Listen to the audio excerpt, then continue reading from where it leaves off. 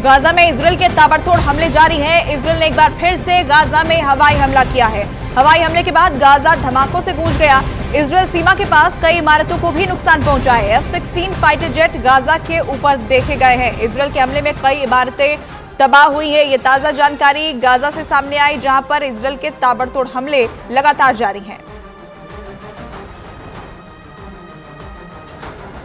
Gaza के युद्ध में भले हमास को हराने के दावे किए जाएँ, लेकिन जिस तरह से मुस्लिम मुल्क अब हमास का साथ देने के लिए एकजुट हुए हैं उससे इसराइल में हड़कंप मच गया है। ईरान के साथ साथ सऊदी अरब भी गाजा में बेतहाशा मौतों को देखने के बाद अब युद्ध करने का मन बनाने लगा है। यानी सऊदी अरब और ईरान अब एक साथ आ गए हैं।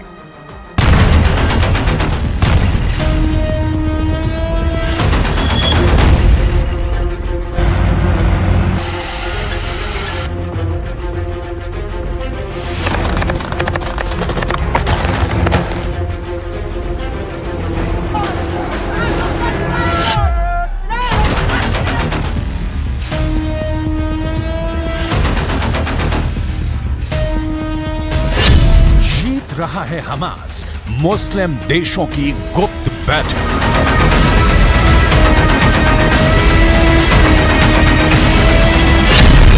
हमास को मरते हुए नहीं देख सकते हैं।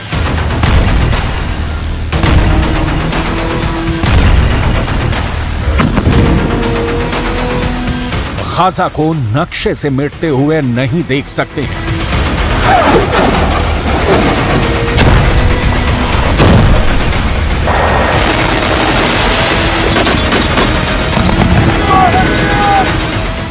आँखें बंद करके फिलिस्तीनियों का नरसंहार नहीं देख सकते। हैं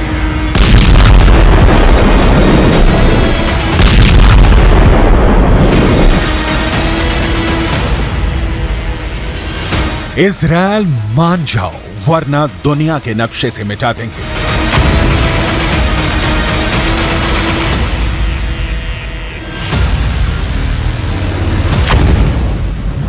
ये धमकी, ये चेतावनी ईरान के साथ साथ अब तमाम मुस्लिम देश इसराइल को देने लगे हैं। जंग के एक महीने बाद सत्तावन मुस्लिम देशों का गुस्सा सातवें आसमान पर पहुँच चुका है। बारह हज़ार से ज़्यादा लोग गाजा युद्ध में मारे जा चुके हैं। गाजा पट्टी की 45 फ़ीसदी या कहें कि लगभग आधी इमारतें पूरी तरह से तबाह और बर्बाद हो चुकी हैं। लेकिन इस दौरान एक भी मुस्लिम देश ने इसराइल पर सीधा हमला नहीं किया। लेकिन अब ऐसा लग रहा है कि ईरान के साथ साथ कई मुस्लिम देश इसराइल से सीधी जंग का मन बना चुके हैं। गाजा युद्ध अब धर्म युद्ध की तरफ़ बढ़ चुका है। इसराइल की खुफिया एजेंसी मोसाद और अमेरिका की खुफिया एजेंसी सीआईए को इनपुट मिले हैं कि ईरान के कहने पर सऊदी अरब में इसराइल के खिलाफ जंग करने के लिए गुप्त मीटिंग हो रही है।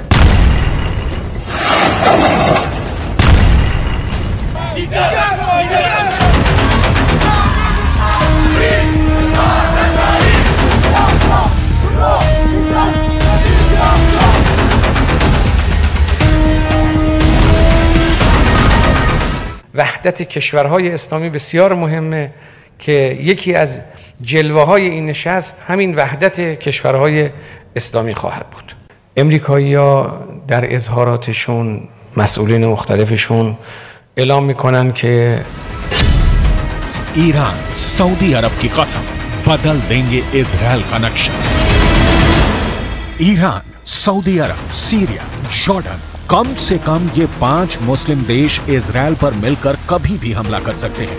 अगर ईरान की बात करें तो उसकी सेना में माहिर लड़ाके, लंबी दूरी की घातक मिसाइल, रॉकेट के बेहद घातक और खतरनाक वेरिएंट मौजूद हैं। यहाँ तक कि ईरान के पास अराश टू, मोहाजिर टेन और शाहिद सीरीज़ के ऐसे ऐसे आत्मघाती ड्रोन हैं जो इसराइली सेना पर बहुत भारी पड़ जाएँगे। इस वक्त हमास के सिर्फ़ पैंतालीस हज़ार लड़ाके सबसे एडवांस और घातक हथियारों से लैस इजरायली सेना से मुकाबला कर रहे हैं। कहा तो यहाँ तक जाने लगा है कि महज रॉकेट एंटी टैंक मिसाइलें और बारूदी सुरंगें और कुछ भारी हथियारों के बलबूते हमास के लड़ाकों ने गाजा युद्ध को एक महीने तक खींच लिया है। अगले एक हफ़्ते के अंदर हमास को सत्तावन मुस्लिम देशों से जंग में सीधा साथ मिलने की उम्मीद है। इसीलिए हमास के प्रवक्ता और नेता डंके की चोट पर कह रहे हैं कि हमास को हराना नामुमकिन है। इसराइल पर हमले को तैयार सत्तावन मुस्लिम देश। गाजा में इजरायली हमलों के खिलाफ मुस्लिम देश एकजुट हो रहे हैं। हम आपको बता दें कि सऊदी अरब की राजधानी रियाद में गाजा के मुद्दे पर इस्लामिक सहयोग संगठन, यानी ओआईसी में बैठक हो रही है और इस बैठक में ईरान के राष्ट्रपति भी सऊदी अरब में बड़ा प्लान बना रहे हैं। ईरान की मीडिया के अनुसार राष्ट्रपति इब्राहिम रईसी रियाद में गाजा युद्ध को लेकर फाइनल मीटिंग कर रहे हैं। ओआईसी की बैठक में गाजा संकट पर चर्चा हुई है और ओआईसी की इस बैठक को लेकर ईरान कितना गंभीर है?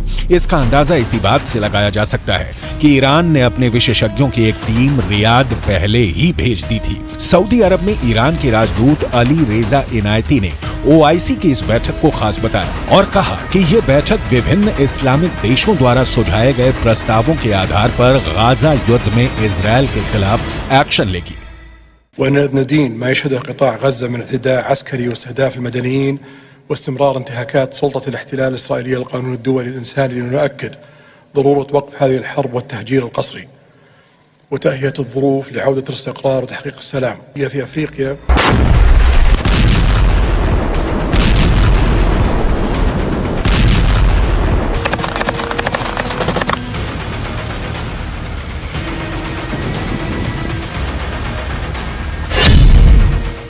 बहुत हुई बात बारूद से मिलेगा जवाब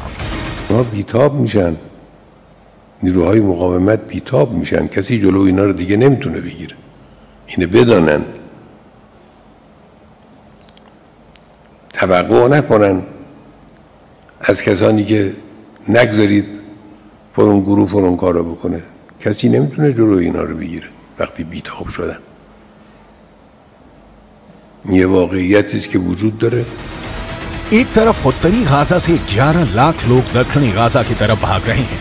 लाखों फिलिस्तीनी और गाजा के लोगों के लिए गाजा की ज़मीन साक्षात नरक बन चुकी है। इधर हमास के top commander Ismail Haniyeh Iran के साथ मिलकर इसराइल से लंबे युद्ध की ज़बरदस्त तैयारी कर रहे हैं। जरा इन तस्वीरों को देखिए। हमास के नेता और top commander Ismail Haniyeh Iran के विदेश मंत्री हुसैन अमीर अब्दुल्ला हियान के बीच एक ज़बरदस्त मीटिंग हुई थी। कतर की राजधानी दोहा में हुई इस मीटिंग में ईरान ने हमास के लीडरशिप को साफ़ बता दिया है कि ईरान इसराइल के खिलाफ जंग में उतर चुका है। अब ईरान की बेतहाशा सैन्य ताकत हमास की ताकत बन गई है। यानी गाजा में अब इसराइल को सिर्फ़ हमास से नहीं, बल्कि ईरान की सेना, लेबनन के हिजबुल्ला लड़ाकों और हमास के सुरंग जिहादियों से जंग करनी पड़ेगी।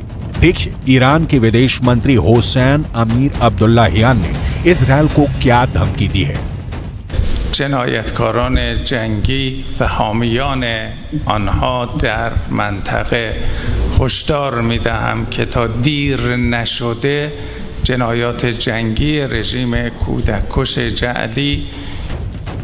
दूसरी तरफ इसराइल के प्रधानमंत्री और उनकी वॉर कैबिनेट इस वक्त क्या कर रही है जरा ये भी जान लीजिए नेतन्याहू गाजा बॉर्डर के आसपास अपने टॉप कमांडरों का हौसला बढ़ा रहे हैं। गाजा में घुसकर हमला कर रहे आईडीएफ के सैनिकों से मिलकर नेतन्याहू ग्राउंड रिपोर्ट पर जंग के ताज़ा हालातों को जान रहे हैं। इजरायली सेना ने उत्तरी गाजा, मध्य गाजा और वेस्ट बैंक में कई सीक्रेट ऑपरेशन किए हैं। दावा तो यहाँ तक किया गया है कि जिस तरह से हमास का एयर चीफ, नेवल चीफ और ग्राउंड फोर्सेस चीफ समेत पैंसठ टॉप कमांडर हमास के मारे गए हैं, उनकी मौत के पीछे हमास से जुड़े डबल एजेंट है जिसने इसराइल की आईडीएफ को हमास के टॉप कमांडरों की सटीक जानकारी दी है इसीलिए इसराइल की एयरफोर्स ने पिन पॉइंट से हमास के कमांडरों पर सीधे बम और मिसाइलों से हमला किया है एक अनुमान के मुताबिक हमास के टॉप कमांडरों के साथ उनके परिवार रिश्तेदारों के 500 से ज्यादा लोग मारे जा चुके हैं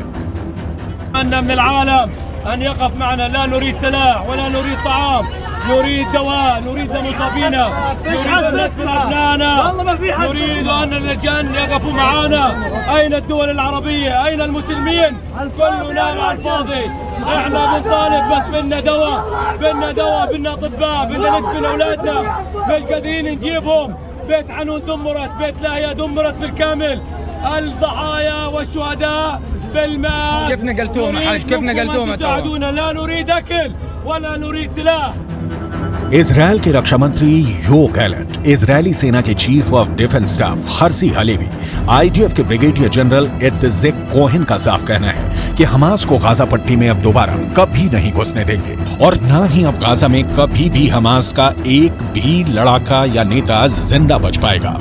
इसराइली सेना की स्पेशल फोर्स इस वक्त गाजा सिटी के बेहद अंदर घुसकर ऑपरेशन चला रही है। इजरायली सेना के टॉप कमांडर्स की मीटिंग में एक ही बात पर खास जोर दिया जा रहा है कि हमास की भीषण तबाही और इजरायली सैनिकों को हमास के जानलेवा हमलों से बचाना है यही वजह है कि इजरायली जमीनी सेना से खुफिया इनपुट लेकर उत्तरी गाजा दक्षिणी गाजा और वेस्ट बैंक में चुन चुन कर भीषण हवाई हमले कर रहे हैं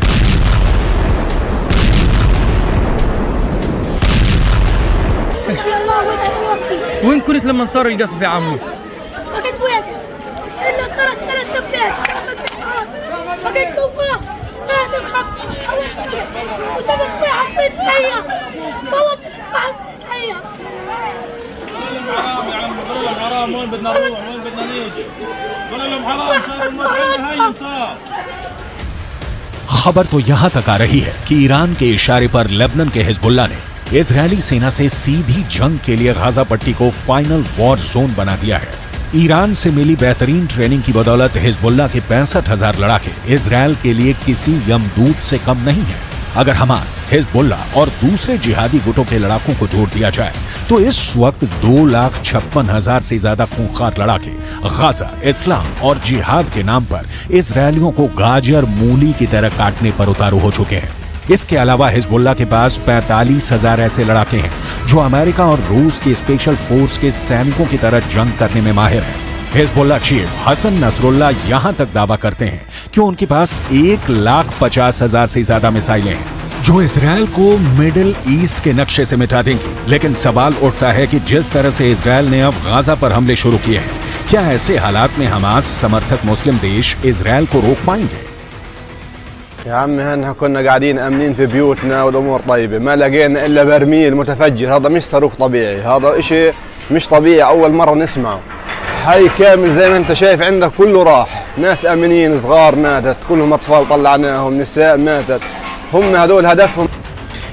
एक महीने से ज्यादा की जंग के बाद पता चला है कि उत्तरी गाजा से 70 फीसदी फिलिस्तीनी और हमास समर्थक भाग चुके हैं उत्तरी गाजा से दक्षिणी गाजा के बीच लगभग 14 किलोमीटर का फासला है दक्षिणी गाजा से लगभग उत्तरी गाजा से सात से आठ लाख लोग पहुँच चुके हैं, जबकि उत्तरी गाजा में फंसे डेढ़ से दो लाख लोगों को हमास के लड़ाकों ने मानव ढाल बना रखा है। जनाजों का ताका हथियारों के साथ हमास के लड़ाकों की लड़ने की क्षमता साफ़ दिखा रही है कि जंग अभी खत्म नहीं होगी, बल्कि अभी जंग में बहुत से खिलाड़ी खून की होली खेलने का प्लान बना चुके हैं।